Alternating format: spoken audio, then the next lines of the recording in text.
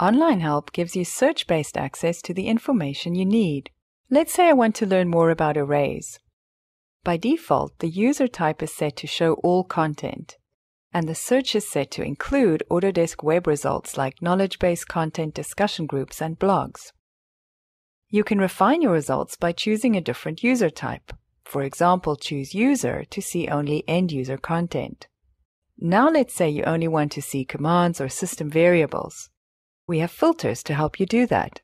I can filter on commands, or system variables, or both. If you want to see an alphabetical list of commands or system variables, these links on the home page will take you there.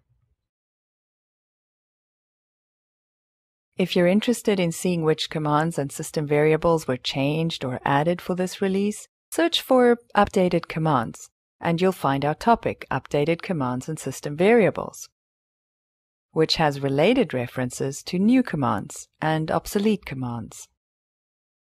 Speaking of related references, at the bottom of every topic you'll find links to that topic's related tasks, references, and concepts.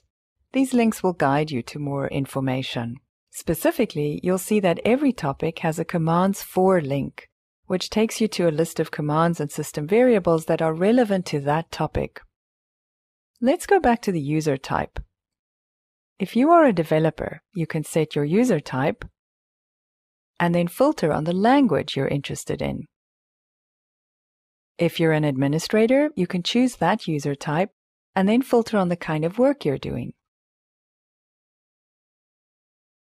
Although our help is now internet-based, if you need a copy to use when you're offline, you can download it from the home page or from the Help menu.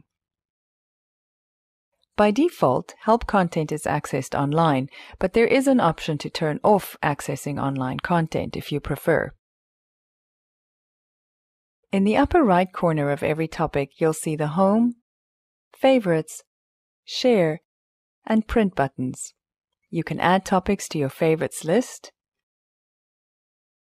or share a link to a topic. Let's go back to the home page where you'll find links to additional content like our Hitchhiker's Guide to AutoCAD Basics and our Guide to CAD Management. The Hitchhiker's Guide is your guide to the basic 42 commands you need to create 2D drawings using AutoCAD or AutoCAD LT. This is a great place to get started if you're new or it's been a while since you used the application.